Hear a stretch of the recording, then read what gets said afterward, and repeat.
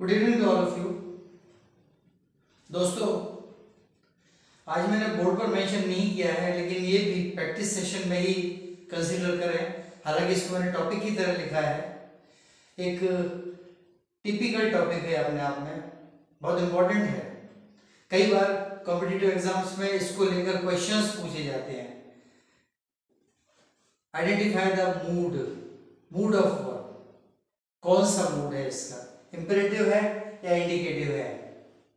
और एक्सप्रेशन क्या है? तो ये मूड प्लस एक्सप्रेशन क्या एक्सप्रेशन है?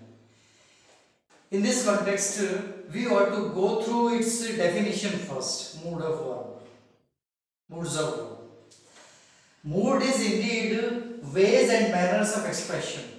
Ways and manners of expression. किस तरह से एक्सप्रेस किया है और किस वे में? वेज एंड मैनर किस फ़ैशन में और किस तरीके से इसको एक्सप्रेस किया है? So moods means ways and manners of expression सीधा सीधा एनालिसिस है और बहुत सिंपल प्रैक्टिस है इसकी। किसी भी क्वेश्चन को, किसी भी सेंटेंस को, किसी भी एक्सप्रेशन को देख उसमें आपको मूड दिखाई देगा। बस इसको गौर से आइडेंटिफाई करने का ये वीडियो देखा हो? तो सो so, दो मूड्स हैं इंडिकेटिव एंड इंपेरेटिव तो इंडिकेटिव में ज़्यादा लंबा ना करते हुए सिर्फ़ तीन सेंटेंसेस लिए हैं सिर्फ़ तीन। और आगे उनके एक्सप्रेशंस दिए क्या एक्सप्रेशंस हैं? So the very first sentence your outfit is too appealing आपका आउटफिट बहुत अपीलिंग बहुत ज़बरदस्त लग रहा है बहुत अच्छा लग रहा है। ये योर आउटफिट मीन बाहर के पहनने के कपड़े। Your outfit is too appealing and this sentence expresses a statement this is expression total expression part and this sentence expresses the statement this is the statement of someone your outfit is too appealing second one I am am I audible to you clear cut दिखाई दे रहा है M पहले लगा हुआ है, दूसरी बात इंटरगेटिव साइन है means it's a question its expression is a question so am I audible to you क्या आप मुझे सुन पा रहे हैं? ये am I audible to you am पहले लगा हुआ है, और इंटरगेटिव साइन है, ये क्वेश्चन है. So its expression of this sentence is question third one if it rains I shall stay back अगर बरसात होती है, बारिश होने लगती है तो मैं यहाँ वापस रुक जाऊँगा, यानी वापस आना होगा।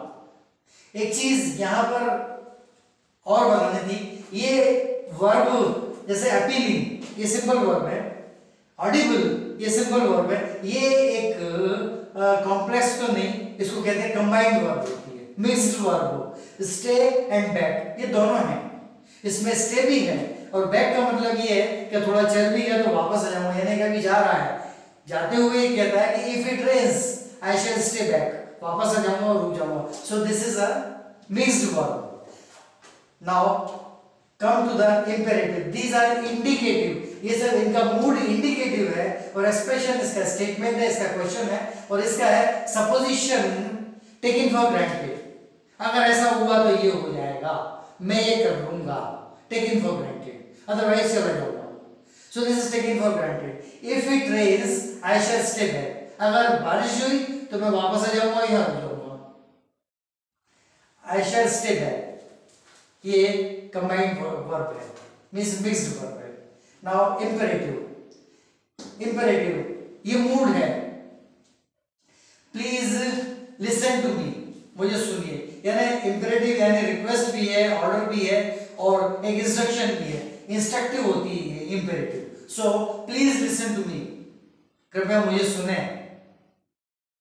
प्लीज़ पहले लगा request so this is request इस its expression is request imperative mood of verb तो वर्ब लिसन है, और प्लीज़ लगा हुआ पहले तो रिक्वेस्ट होगी रिक्वेस्ट उसका एक्सप्रेशन है।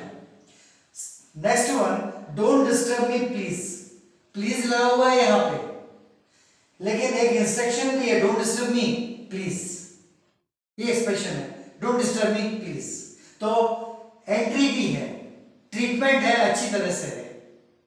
बहुत हम्बल ट्रीटमेंट है, लेकिन इंस्ट्रक्शन भी है डोंट डिस्टर्ब मी नाउ यहाँ डिस्टर्ब वर्ब है सिंपल वर्ब है. Now this is combined verb avoid smoking imperative में अवॉइड स्मोकिंग इंपेरेटिव है इंस्ट्रक्टिव है, लगभग. अवॉइड स्मोकिंग अवॉइड भी वर्ब है स्मोकिंग भी वर्ब है this is mixed verb and the expression is suggestive और कॉशन कॉशस यानी सजेशन है या कॉशन है दोनों एक सलाह भी है और सावधान करने की एक क्रिया भी है। So avoid smoking this is suggestion और कॉशन ये इसका एक्सप्रेशन है ये एक्सप्रेशन है now next one don't park your car here ये ऑर्डर है.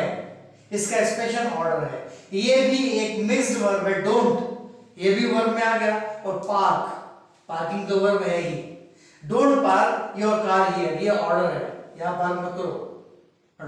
So mixed verb don't park your car here and the expression is order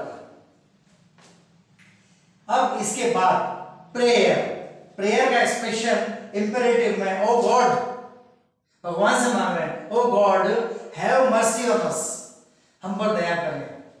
तो have mercy जो है, ये भी मिक्स्ड वर्ब है, और एक्सप्रेशन है प्रेयर इसी तरह, ये कम हियर कम हियर ये एक तरह से कमांड है। कम हियर क्या ये?